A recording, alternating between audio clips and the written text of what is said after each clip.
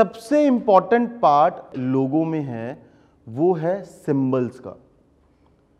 दूसरा important part है, क्या फील डालना चाहते हो आप लोगों में? और तीसरा इंपॉर्टेंट पार्ट है, उनका एस्ट्रोलॉजिकल कनेक्शंस ये तीन कैटेगरी हैं मींस मैं बोल रहा हूँ। First category is symbols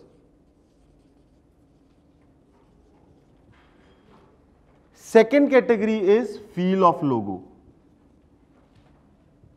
third is astrology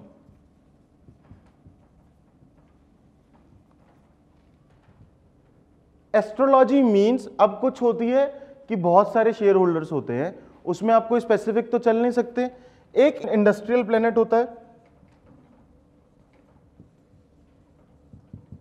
दूसरा होता है प्लेनेट हॉरोस्कोप प्लेनेट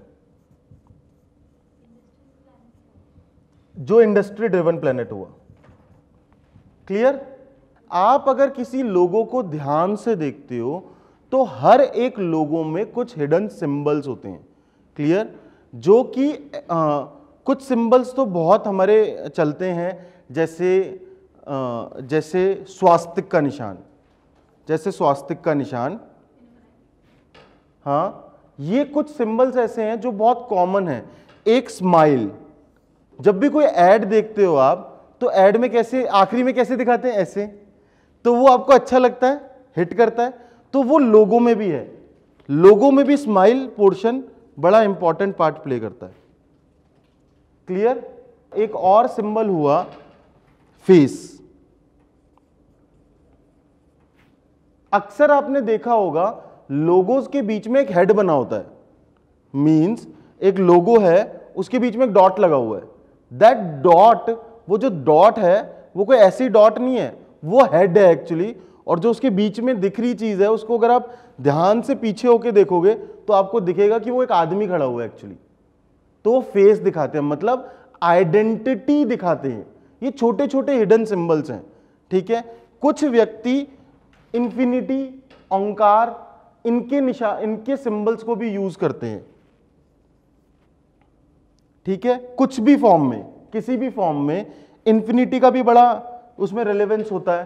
तो आपको ये सिंबल्स देखने हैं, डालने हैं एक लोगों में केटर करने के लिए, ताकि वो लोगो अपील करे।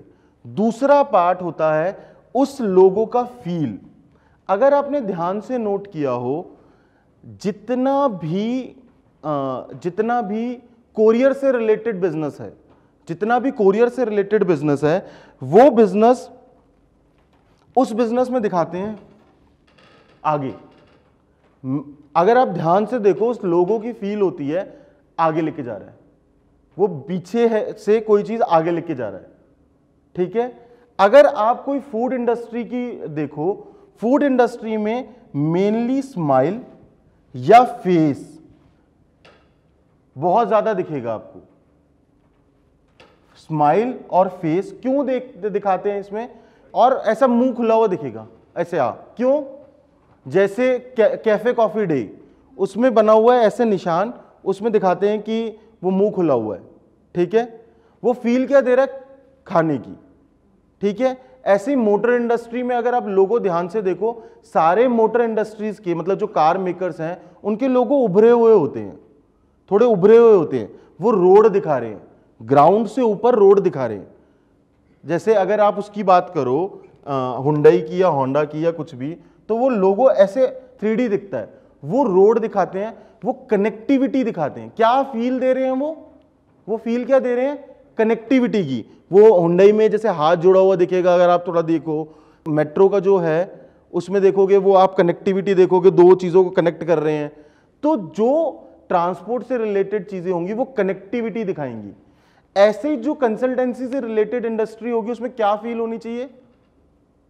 लोग ब्लिसफुल फील कर रहे हैं, ऐसी फील होनी चाहिए। लोग ब्लिसफुल फील कर रहे हैं, ऐसी फील होनी चाहिए।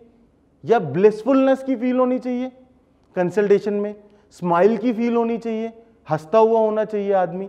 ये फील आपको हर इंडस्ट्री में देखनी पड़ेगी कि इंडस्ट्री टू इंडस्ट्री कैसे वो फील लोगों में डाली जा सकती है। एक सिंबल और है, वो है त्रिशूल का। वो है त्रिशूल का। त्रिशूल मींस जो तीन हिस्सों में हो, जिसका थ्री मतलब तीन पॉइंट दिख रहे हो। जैसे रोल्स रॉयस का लोगो वो त्रिशूल जैसा दिखता है। ये सिंबल्स और फील को जब आप क्लब करते हो तो लोगो बनता है।